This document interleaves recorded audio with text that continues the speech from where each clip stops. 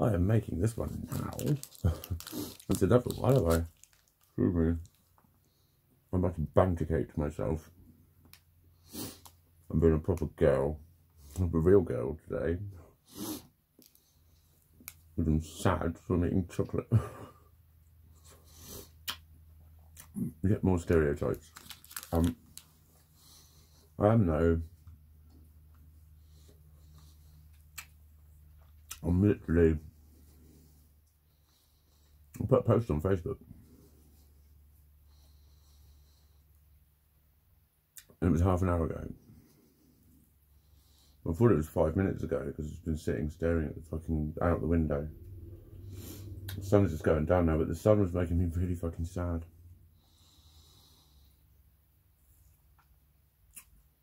And I thought, well, sometimes just talking to these helps. It's just kind of me just fucking talking about myself a lot of the time. But oh god, it's like schemas.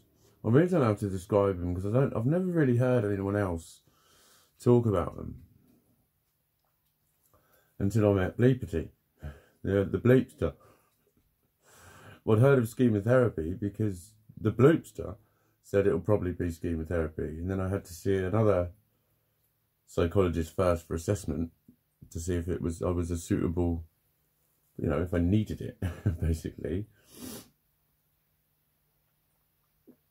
Um, but it's basically feelings that kind of mean thoughts. You just look at something and you just go, and it means something. It means I'm fucking not wanted. It just means I'm not wanted around. Just fucking shut up. Go the fuck away. You're annoying. Stupid. You're fucking whatever. You're irritating. All of those sorts of things. And they're just, it's a feeling. It's a feeling. And that's what I fucking fight with a lot of the time because my rational head knows it's not real. And it's, oh, it's horrible. It's horrible. And it's just, it's just been getting like that today. I just don't know. I just don't feel, you know, like when people say you really are worth, worthy and all of that. And it's like, in a lot of ways I am because any human is. Do you know what I mean? But there it's not a it's not a thought of I'm not worthy or I'm not good enough. I'm not good. I'm inad- I'm an inadequate. But like I'm not. I'm disgusting. That's what I am. That's what I feel that I am. I'm I'm people repelled by me. Ugh, fuck off. It's disgusting. Fuck off or I'll, or I'll hurt you. And that's how I feel that people think. I don't think people think it. So speaking to my rational head, my rational head's going, oh fucking no. But then just this in and of itself makes me feel not good enough. Because who fucking wants someone who's fucked up like this? Not I mean? Alright, mate.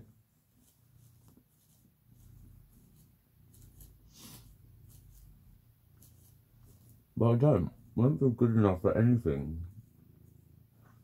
Or for anyone, or to anyone. I just don't. I'm not, I'm not deciding it. I'm not thinking, here is a breakdown of everything that I think is good and everything that I think is bad. And all of these things taken into consideration equals I'm disgusting. And that's my only problem. It's not. Anyway,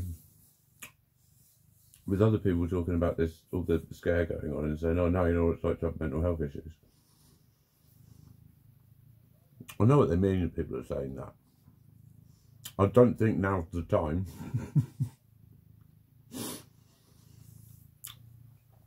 people are worried about a virus that might kill them, or worried about their job, or their money, or their mortgage, or their home,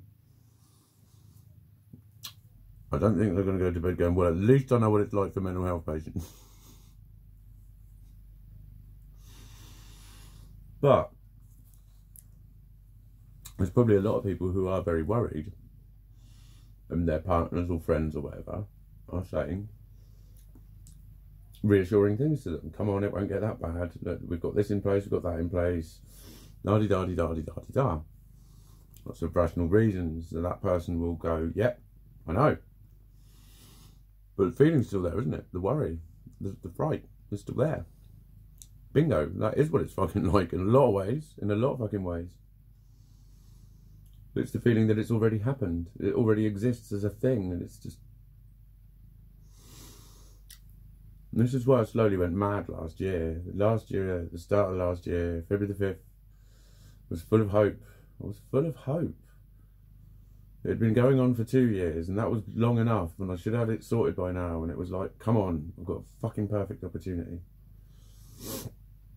I started discovering all this stuff and thinking, oh my god, it's been there forever.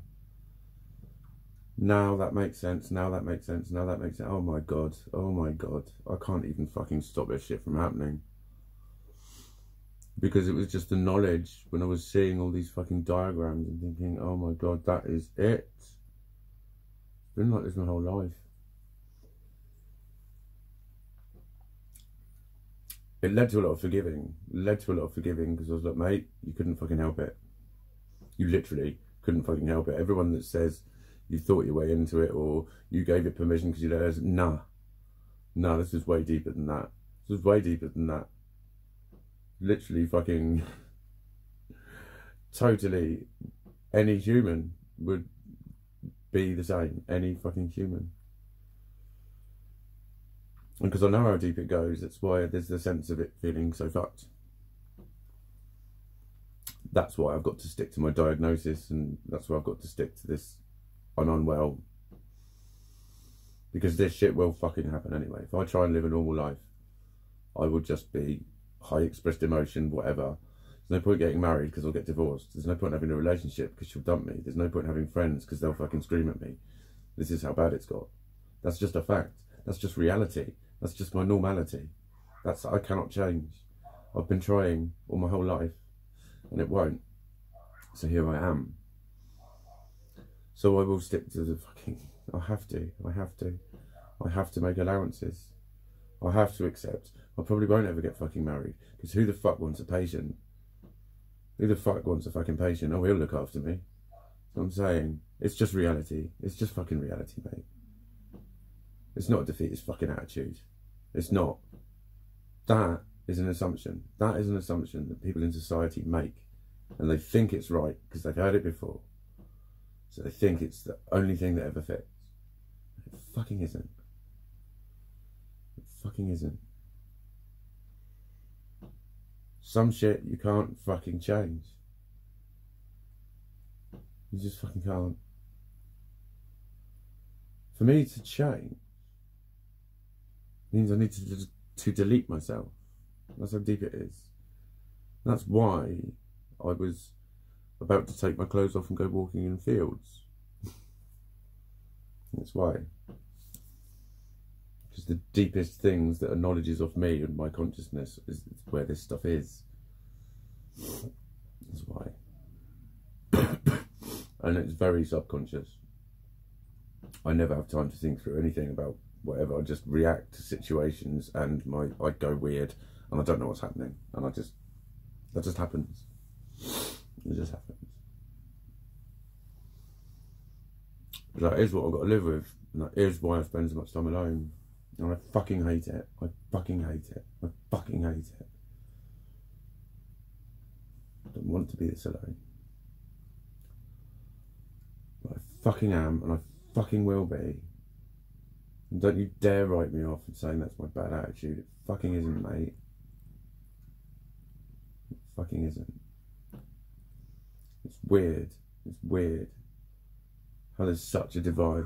Everyone that I say this shit to in the mental health services goes, I know, I know, and everyone else says this, and I know it's terrible, and they all know that society gets it badly wrong.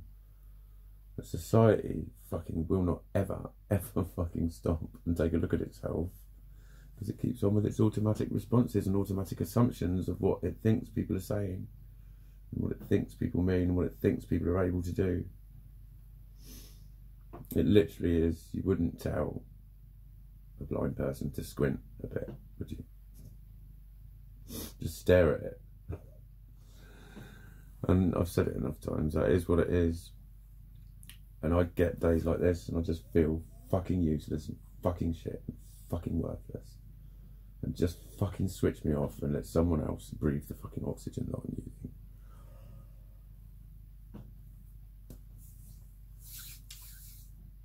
I said these were going to be real and raw, and this one really fucking is. I don't care.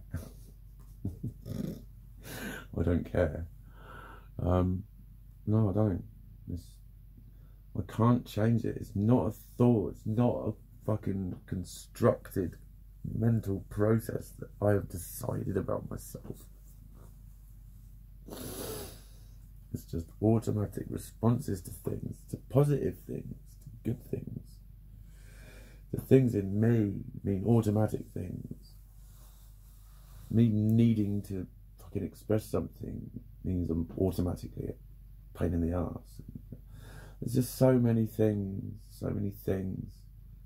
Being loved by people freaks me out. That sort of shit. It's nasty, mate. It's fucking nasty.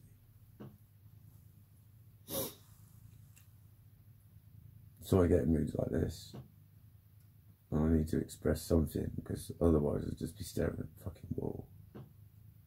So maybe there'll be more to come. Because maybe this is all I've fucking got at the moment. Because I can't see people at all. And people are busy making the most of it. And so many other people have got at least one person around them. I know there's others like me, but I don't know how they're coping. Not fucking easily. It's not nice. This is not nice. But it is what it is. I'll put the telly on and eat another bounty. and upload this and do whatever feels like the next right thing. and there we go.